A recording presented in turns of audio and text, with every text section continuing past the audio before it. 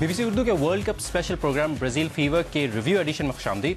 میرے ساتھ اس وقت اسٹوڈیوز میں موجود ہیں ابو ذر اختر اور عمر فاروق۔ عمر پورے ٹورنامنٹ میں مختلف ٹیمز کے پاس اسٹار پلیئرس تھے اور ماضی میں میراڈونا اور زڈان جیسے پلیئرز نے اپنی ٹیم کو ورلڈ کپ کا تحفہ دیا ہے۔ لیکن اس بار جرمنی ایک ایسی ٹیم رہی ہے جس نے ورلڈ کپ اسٹار پلیئرس پر رلائی کر کے نہیں بلکہ ٹیم پلے پر رلائی کر کے جیتا ہے۔ تو کیا اب ہم ایک نئے دور کا آغاز دیکھ رہے ہیں؟ فٹ بال کے ایک نئے دور کا؟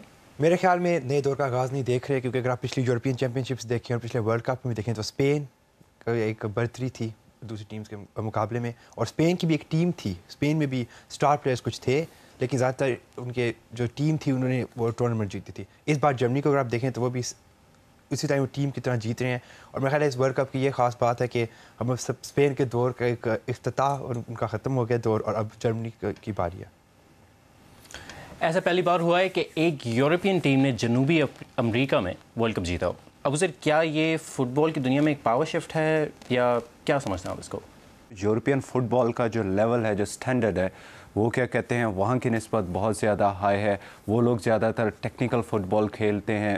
پر یہاں پہ جو ٹیمز جن کے پاس اسٹرانگ تھی اسٹرینتھ تھی کاؤنٹر اٹیک کرتے تھے، جو ان ٹیموں نے سروائیو کیا ہے۔ اور آپ ابھی بھی دیکھ لیں، کیونکہ جو جرمن فٹ بال ہے، ان کی بیسکس ہی کاؤنٹر اٹیک ہیں۔ یہ وہ ہمیشہ کیا کہتے ہیں؟ بلی کرتے ہیں اگلی ٹیم کو اور سٹ بیک اور کاؤنٹر اٹیک اس ورلڈ کپ نے دنیا بھر کے ماہرین کی ساری پروڈکشنز کو غلط ثابت کیا ہے۔ ٹورنامنٹ شروع ہونے سے پہلے ہم نے بھی کچھ اسی طرح کی پروڈکشنز کی تھی۔ آئی دیکھتے ہیں کہ ہمارے ایکسپرٹس اور میری پروڈکشنز کس حد تک صحیح تھی۔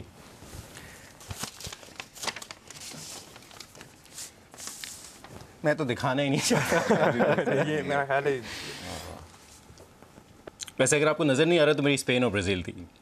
میرا بھی وہی فائنل تھا اسپین اور برازیل کا لیکن میں نے میں نے پروڈکٹ کیا تھا برازیل ٹو پلے بلجیم اس دنیا کا سب سے بڑا اسپورٹس فیسٹیول اپنے اختتام کو پہنچ چکا ہے اور اس کے ساتھ ہی ہمارا یہ اسپیشل ایڈیشن بھی۔ میں غزنفر حیدر اور ہمارے ایکسپرٹس آپ سے اگلے ورلڈ کپ تک کے لیے اجازت چاہتا ہوں۔